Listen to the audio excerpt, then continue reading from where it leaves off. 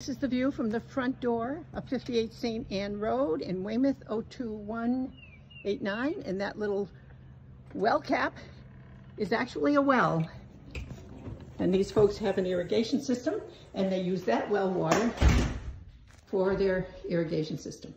So we're going to take a walk around, make a full circle. You don't need me to tell you which rooms we're walking through, but look at the custom built-ins in here. This house was built in 1952 1,744 square feet that's been updated and improved through the years. Unique features have been maintained. And here's something very unusual, a 20 by 20 family room right off the kitchen to entertain family and friends.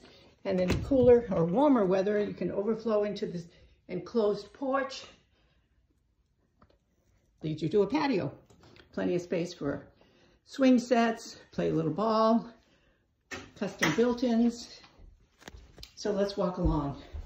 Has a full basement with a bar that was built in the 50s. Bathrooms have been redone. This first floor bedroom was used as a master by previous owners, being used as a home office right now and a guest room by the current owners.